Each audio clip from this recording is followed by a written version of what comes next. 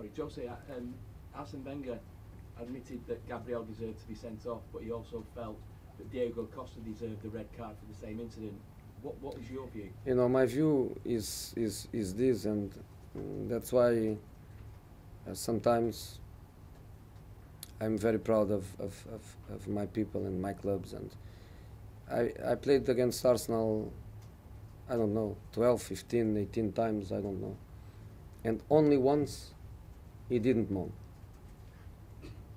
And in that day, in that day, we lost the game.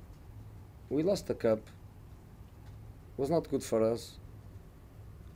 We behave in, in a fantastic way.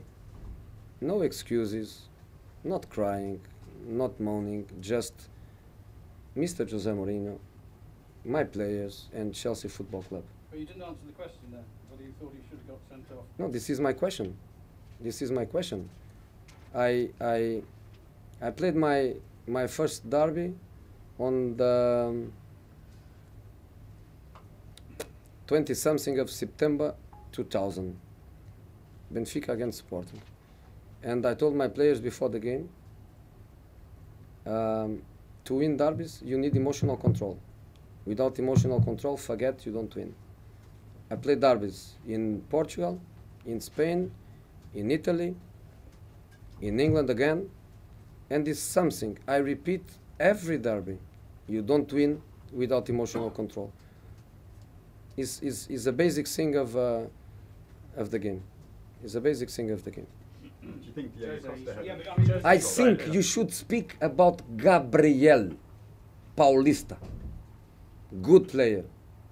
You should speak about him and about his mistake. If you want to speak about oh Diego Costa with me, let's finish. The if you want to speak about Diego Costa with me, is just to say he played like he has to play. And that's why you have full stadiums, you sell to televisions all around the world for millions and millions because the game has to be played like that. Okay? And that's why tomorrow I couldn't go yesterday, I go tomorrow for what I consider comparable in terms of dedication and passion. Jose. New Zealand against Argentina. I go tomorrow because I love it. Fantastic, Diego. Yeah, but they do their best to play within the rules, whereas I don't think Diego Costa. Which rules? Your rules? There's slightly more rules in rugby than there are in football. Don't get Yeah. wound up by him. Andy, The players don't understand them. Andy, I think the technicality of, of the Costa incident was in putting two uh, hands in the face of the defender, hitting the defender with the, the swinging arm, and then involved in everything else. He probably could have had three or four yellow cards for all of that. Could you answer specifically about that? Do you think any of those things could have led, led to a red card, or is that playing within the grey areas of the rules to be a top striker? I can guess that when you were a kid, you were playing badminton. No, I played rugby. Badminton. I. Ah, you didn't play rugby. Don't, don't rugby. Play rugby. Play badminton. Yeah, but that's part of the question. It's a great, it's a great sport. Badminton is a great sport. You're just trying to deflect the question. You haven't answered the question. Man of the match for me. But no red card. Of course not. The referee, the referee was there. The referee was there. Was the same referee that made every decision of the game. Was the same referee that didn't give two penalties clear for us. So it's also rules of the game. What Gabriel Paulista did to did to Eden Hazard, which was something that is allowed in rugby and is not in football.